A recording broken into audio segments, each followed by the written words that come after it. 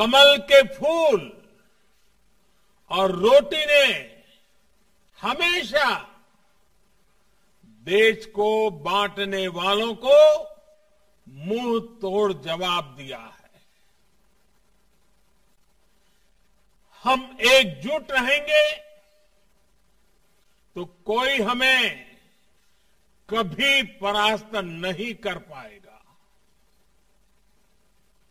हर एक का प्रयास ही उत्तर प्रदेश को वो ऊंचाई देगा, जिसका वो हमेशा से हकदार रहा है। साथियों, जब मैं पाँच साल पहले चुनाव के समय पश्चिमी यूपी में आया था तो आपसे कहा था कि यूपी के विकास के लिए हम कोई कोर कसर बाकी नहीं छोड़ेंगे। इन पाँच वर्षों में, योगी जी के नेतृत्व में, यूपी सरकार ने पूरी ईमानदारी से, पूरी निष्ठा से आपकी सेवा करने का यूपी के विकास का प्रयास किया है। कोई भूल नहीं सकता है। पाँच साल पहले यूपी को लेकर क्या चर्चा होती थी? पाँच साल पहले दबंग और दंगाई ही कानून थे। उन्हीं का कहा ही शासन का आदेश था। पाँच साल पहले व्यापारी लूटता था। बेटी घर से बाहर निकलने में घबराती थी।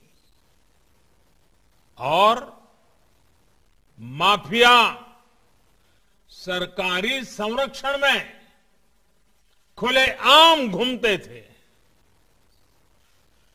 पश्चिमी यूपी के लोग कभी नहीं भूल सकते कि जब ये क्षेत्र दंगे की आग में जल रहा था तो पहले वाली सरकार उत्सव मना रही थी, उत्सव। पाँच साल पहले गरीब, दलित, वंचित, पिछड़ों के घर ज़मीन दुकान पर अवैध कब्जा। ये समाजवाद का प्रतीक था। लोगों के पलायन की आए दिन खबर आती थी। अपहरण, फिरौती, रंगदारी ने मध्यम वर्ग को, व्यापारियों को तबाह करके रख दिया था। पाँच साल में योगी सरकार उत्तर प्रदेश को इन हालातों से बाहर निकाल करके लाई है। और ये कोई मामूली काम नहीं है। मैं भी सालों तक एक राज्य का मुख्यमंत्री रहा हूँ। इतने कठिन परिस्थितियों से प्रदेश को बाहर लाना दंगों से मुक्त कराना। शांति और सुख की ज़िंदगी का विश्वास पैदा करना। साथियों, आज यूपी का किसान हो, कर्मचारी हो, व्यापारी हो, या फिर माताएँ, बहनें, बेटियाँ, सभी को सुरक्षा और सम्मान मिल रहा है। जो माफिया और गुंडे खुद को कानून से भी बड़ा मानते थे। यूपी की भाजपा सरकार ने उन्हें कानून का मतलब समझा दिया है। और इसलिए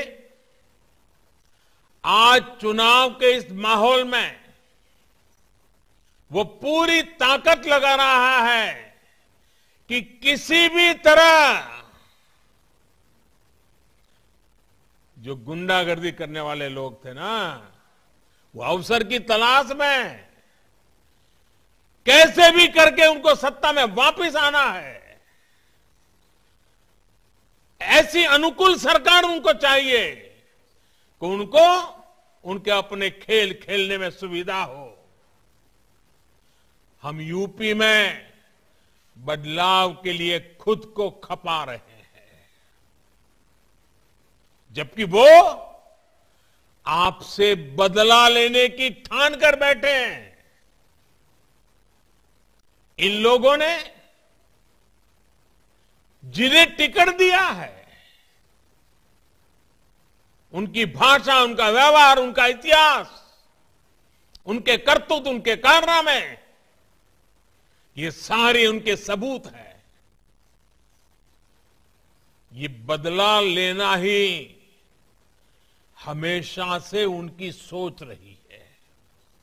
और इसलिए मैं ये देखकर खुश हूँ कि उत्तर प्रदेश के लोग इन दंगाई सोच रखने वालों से बहुत सावधान है, बहुत सतर्क है। उत्तर प्रदेश की जनता वो पुराने दिन वापस नहीं चाहती है इन बदला लेने वालों के बयानों को देखकर यूपी के लोगों ने ठान लिया है कि इस बार पहले से भी ज़्यादा मतों से भाजपा को विजयी बनाएँगे।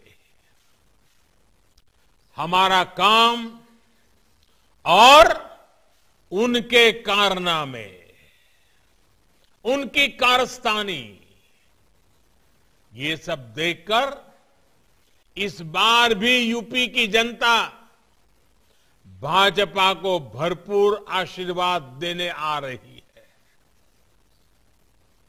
और इसमें भी जो हमारे फ़र्स्ट टाइम वोटर्स हैं, जो पहली बार मतदान करने जा रहे हैं, वे तो उत्साह और उमंग से भरे हुए हैं।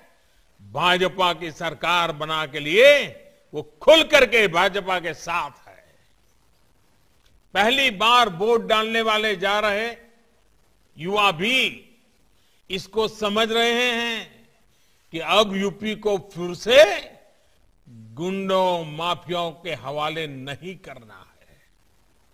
सोचिए साथियों, जो लोग, जो सत्ता खोने के अंधविश्वास के कारण नोएडा जैसे युवा आकांक्षाओं के क्षेत्र में आने से भी कतराते हैं, क्या वो युवाओं के सपनों का प्रतिनिधित्व कर सकते हैं?